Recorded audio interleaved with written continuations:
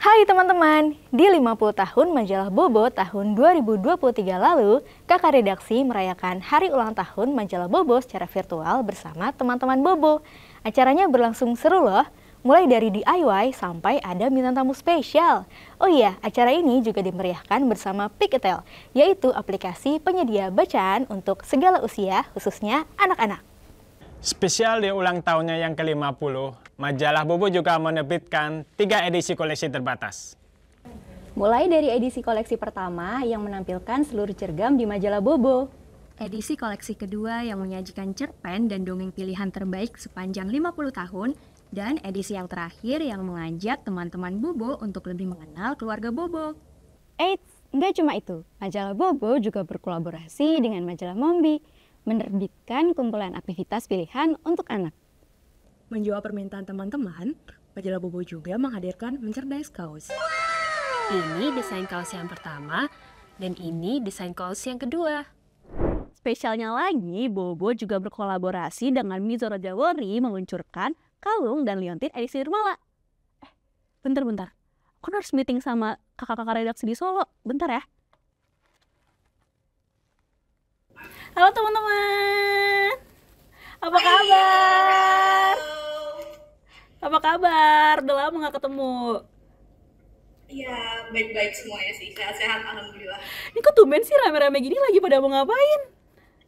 Kita juga mau merayakan ulang tahun Bobo, Kak, di sini. Jadi rame-rame gitu. Kita Keren, mau keren. ulang tahun gak sih, teman-teman?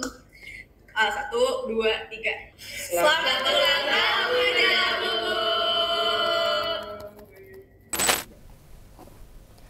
Bobo! Juga ikut merayakan Hari Anak Nasional 2023 kemarin dengan mengadakan live bersama Menteri Pemberdayaan Perempuan dan Perlindungan Anak, Ibu Bintang Puspayoga. Oh ya, live-nya juga berlangsung dari Semarang loh. Sedangkan untuk World Children's Day, majalah Bobo bekerja sama dengan Garuda Indonesia menyapa teman-teman Bobo di Bandara Soekarno-Hatta. Bersama Garuda Indonesia juga, majalah Bobo mengadakan kompetisi mewarnai dan menulis cerpen. Kompetisi ini diikuti oleh lebih dari seribu anak loh. Wah, banyak sekali ya. Nah, masih dalam rangkaian kemeriahan ulang tahun majalah Bobo ke-50 tahun, Bobo juga bekerja sama dengan Yayasan Pulau Imaji dan Erasmus Heights mengadakan pameran Growing Up with Bobo. Karena tingginya semangat teman-teman, Bobo kembali mengadakan pameran bekerjasama dengan Jakarta Content Week di Taman Ismail Marzuki. Lalu, Bobo juga hadir di acara Semesta Buku yang diselenggarakan oleh Gramedia. Selain itu, Bobo juga berkunjung ke sekolah-sekolah dalam rangka Bobo Learning Day. Kalau teman-teman, apa karakter favoritmu dari majalah Bobo? Bobo, Oki Nirmala, Paman Kikuk, atau Bona? Nah, untuk teman-teman yang ingin kenal dekat dengan Oki Nirmala, Paman Kikuk, Husin, dan Asta, serta Bona and Friends, sekarang mereka hadir loh di Instagram. Iya, jangan lupa di follow ya. Hai teman-teman, terima kasih sudah ikut memberi warna dalam ulang tahun ke-50 tahun majalah Bobo. Semoga majalah Bobo selalu menjadi teman bermain dan belajar menemani teman-teman.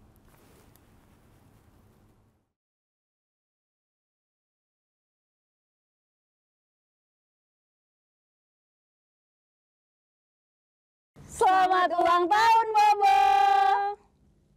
Selamat ulang tahun, Majalah Bobo! Semoga selalu menjadi teman bermain dan belajar anak-anak Indonesia.